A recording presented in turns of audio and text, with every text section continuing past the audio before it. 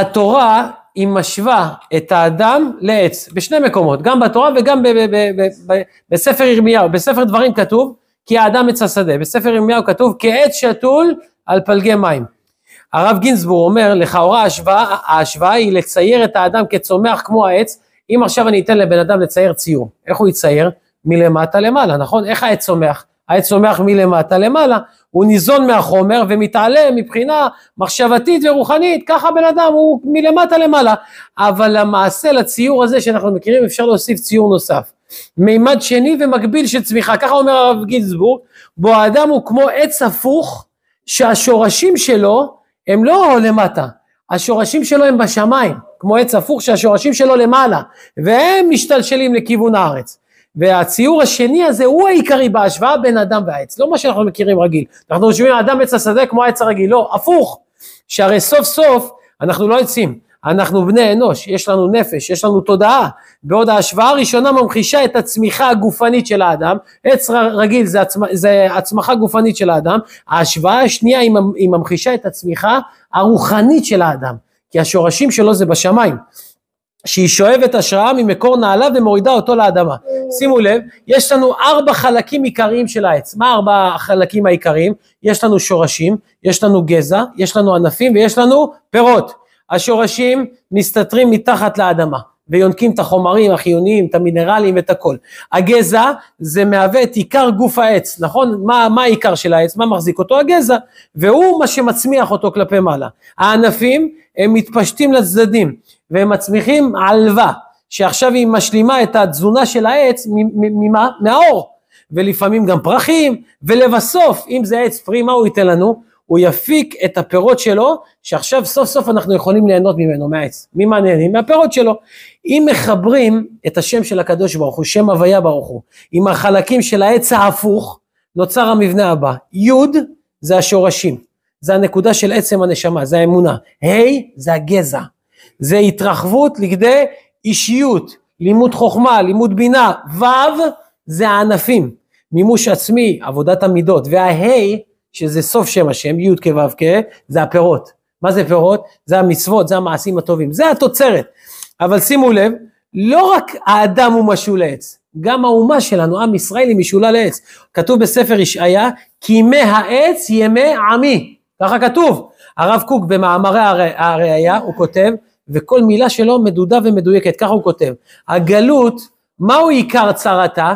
הווה אומר, התלישות היו, אה, אה, אה, היום מאוד הדבר שהאדם מרגיש שבמובן, שבמובן ידוע והעיקרי הוא תלוש, הוא מתנודד, הוא פורח באוויר, האדם התלוש, זה הזוועה היותר מחרידת הנשמה, האדם מוכרח שיהיה לו מעמד ושהמעמד שלו יהיה במקום, שהוא לא יתנודד, שלא יהיה כמו עלה נידף ורוח. בדרך כלל עמים תלושים מתנודדים, מתפרקים, מתפוררים, נעלמים לגמרי, עובד שמם וזכרם תוך זמן קצר.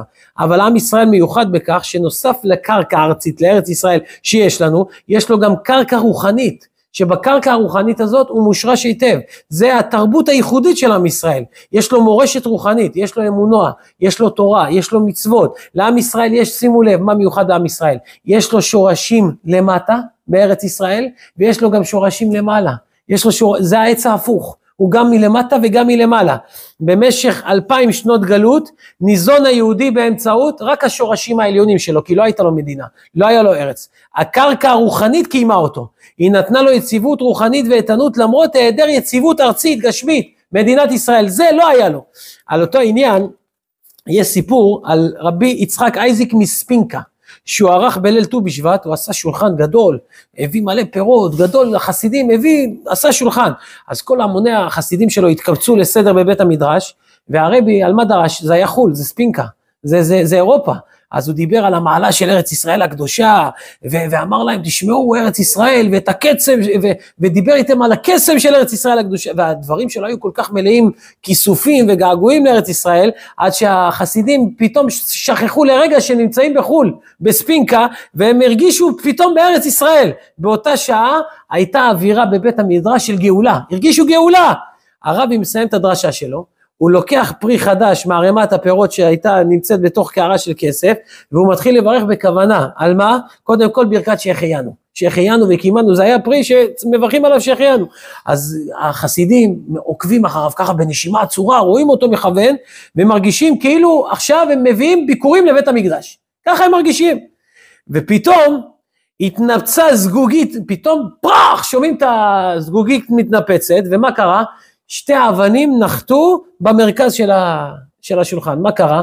הגויים, אדוני הארץ, הם, היה קשה להם לראות יהודים בחו"ל חיים טוב, ומדברים על ארץ ישראל, וכוספים לארץ ישראל. לכן מה הם עשו? הם זרקו כמה אבנים כדי להזכיר להם, הלו רבותיי, אנחנו בעלי הבתים האמיתיים פה, מה אתם יותר מדי חוגגים? החסידים שהיו בקדושה עד עכשיו, הרוח שלהם נפלה, בשנייה אחת היא נפלה, אבל העיניים של הרבי, מה הם הפיקו? רוגע ושלווה. והוא סיים את הברכה, ואמר שהחיינו וקיימנו והגיענו לזמן הזה. ואז מה קרה? החסידים שאגו אמן, הם צעקו אמן, אבל בלב שלהם הם תמו, מה, על תקופה של גלות שאנחנו נמצאים בחו"ל, אנחנו מברכים שהחיינו וקיימנו והגיענו לזמן הזה? איך זה יכול להיות?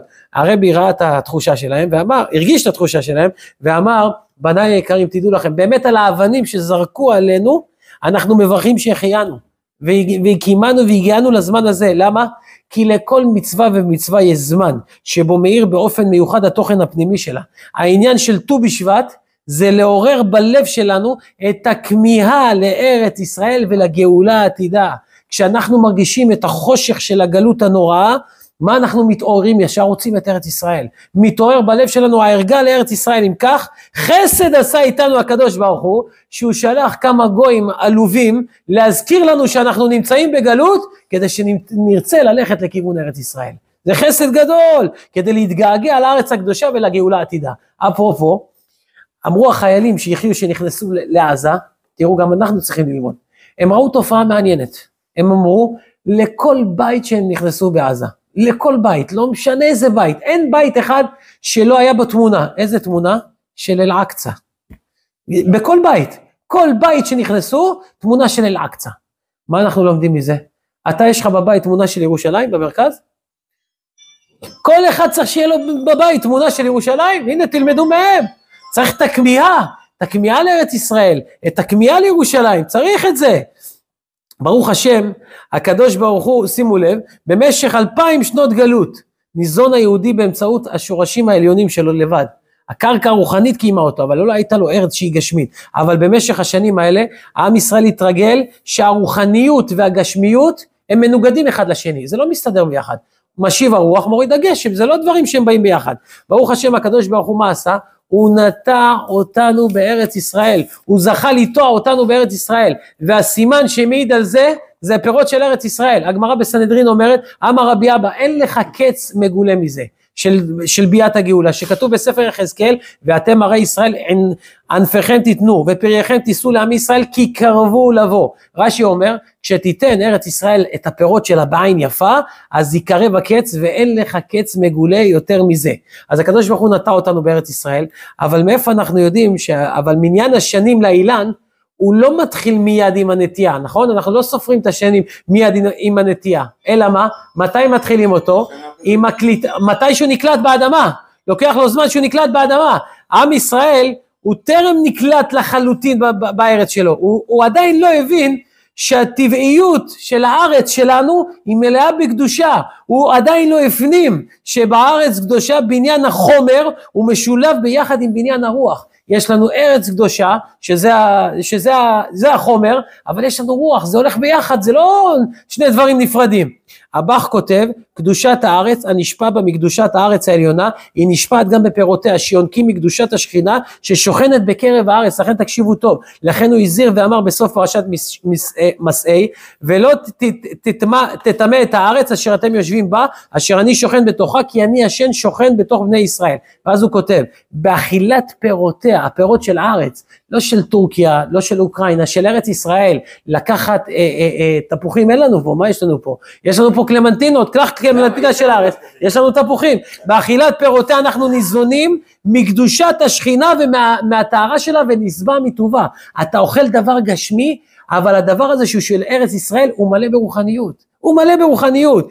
כתב uh, הרב קוק באורות הקודש, המאכל של ארץ ישראל זה לא סתם מאכל, הוא מקודש בפנימיות שלו. בתוכו יש קודש, והוא לא מגושם, הוא מגושם רק כלפי חוץ, הוא נראה כאילו, התפוח של ארץ ישראל, הוא נראה כאילו כמו התפוח של טורקיה, אבל לא, אבל זה מבחוץ אולי, אבל מבפנים יש לו קדושה, מקדושה, ולכן ממאכלי חוץ לארץ צריך להיזהר, ככה, ככה כתב הרב קוק.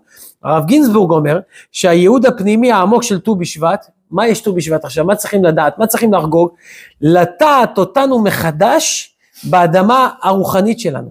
להחדיר את מהותנו הנסתרת לתוך החיים הנגלים שלנו. הדבר הזה מומחש באופן יפהפה, שימו לב איך הקדושה היא נכנסת לתוך דבר, דבר רוחני, נכנס לתוך דבר שהוא גשמי. התאריך של ט"ו בשבט. איך בנו את ט"ו בשבט? מה זה ט"ו? ט"ו זה 15, זה היום ה-15 בחודש. שבט מה זה? זה החודש ה-11. אם תזכרו מניסן שזה הראשי חודשים, נכון? זה 11. ניסן, אייר, סיוון, תמוז, זה החודש ה-11. מה יוצא? 15 בגימטריה זה אות י' ואות ה', 11 בגימטריה זה אות ו' ואות ה', זה שם השם המלא, זה ט"ו בשבט. ט"ו בשבט זה שם השם המלא. ט"ו בשבט זה התאריך היחידי בשנה שהמשמעות שלו, הפנימית, זה, זה, זה ממש לקחת את אות י' וה' ולחבר אותם עם אות ו' וה'. ההשראה הרוחנית, ההשראה הרוחנית שלו שנסתרת בתוך הגשמיות שלו, בתוך הדברים הפשוטים לכאורה של ארץ ישראל. הפנים והחוץ אותו דבר. השם משמואל כותב ובזה אני אסיים, יש להתבונן בעניין יום ט"ו בשבט שאין אומרים בו תחנון, הלא מה שהוא ראש השנה לאילן זה דבר טבעי שיצאו רוב גשמי השנה ועלה השרף באילנות ונמצאו הפירות חונטים מעטה זה טבע למה לא אומרים תחנון בט"ו בשבט ומה העניין שלא יאמר בו תחנון מה כל כך מיוחד בט"ו בשבט אחר שאין בו קדושה ולא מצווה שנעשה בו נס ולא עניין מענייני ישראל אנחנו יודעים שכל החגים שלנו על מה הם בנויים? בנויים על משהו, פסח, פסח השם, על סוכות, יצאו גם מישראל ממצרים, והיה להם סוכות, אבל ט"ו בשבט, מה העניין שלו, אומר השם ישמעאל? איזה עניין יש לו? ונרד העניין האילן הוא שמחבר את הפרי לארץ, והוא הממוצע לפרי, ויש בו כוח המחבר. ויש בו כוח המחבר, ונראה שרמז יש בגימטריה שלו. אילן, כמה הוא? בגימטריה, אומר השם ישמעאל, 91, נכון? 91 זה שני שמות השם. זה י' כ' ו' כ' שזה 26 ועוד אדנות, אדנות זה 65, 65 ועוד 26 זה 91, ששמיים וארץ מתייחסים אליהם, זה חיבור בין שמיים לארץ, שם השם אחד שהוא קשור ללמעלה י' כ' ו' כ' ואדנות שיותר קשור לארץ, זה חיבור, אילן זה חיבור, אילן הוא מחבר אותך למעלה ולמטה, ומן מהותו של האילן בגשמיות, אנחנו נלמד על הרוחניות שלו, ולכן נמשל האדם. לעץ השדה. כי האדם עץ השדה, למה? כי הצורה של האדם, מה, מה בן אדם, מה התפקיד שלו בעולם? הוא משמש בתור חיבור בין למעלה למטה. חיבור בין העליונים והתחתונים, כמו העץ הזה. באשר יש בו נשמה מהעליונים, וגוף שנושא את הנשמה, מאיפה הוא? מהתחתונים, מלמטה. ולפי האמור יובן היטב עניין ט"ו בשבט, שאין אומרים בו תחנון, שהוא באמת זמן שמחה לישראל, שרוצים לעבוד את השם בבחינת לב, בעניין של לב, ולא בקרירות רוח ומצוות אנשים מלומדה. ט"ו בשבט הוא מחבר. ט"ו בשבט מחבר את שני העולמות. בט"ו בשבט אתה אוכל משהו שהוא גשמי, אתה אוכל פרי, ואתה מקבל אבל את צוי הרוחניות. אתה מקבל את השמחה, את החשק, את החיות, את האורות, את האש, בעבודת השם לכל השנה כולה. ונסיים במה שאומר רבי נחמן מברסלב, הוא אומר את זה בהלכות ברכת הפירות, הלכה ד' עוד ג', אני אקרא לכם מה הוא אומר. עיקר שבח ארץ ישראל, מה שהתורה משבחת אותה, שהיא ארץ זבת חלב ודבש, וכן בשבעת המינים שנשתבחה בהם ארץ ישראל. עיקר הכוונה ששם שופע שפע נועם העליון, שהוא שורש כל הנעימות והמתיקות, שמלובש בכל הטעמים שבעולם.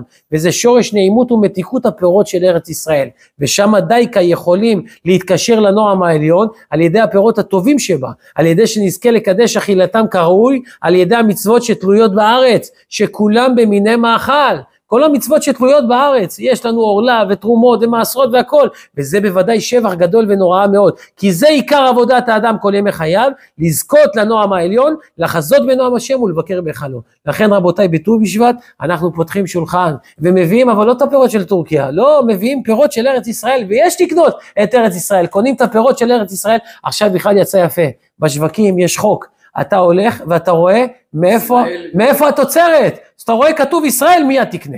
תחזק את הארץ, תחזק. לכן השורש שלנו הוא פה.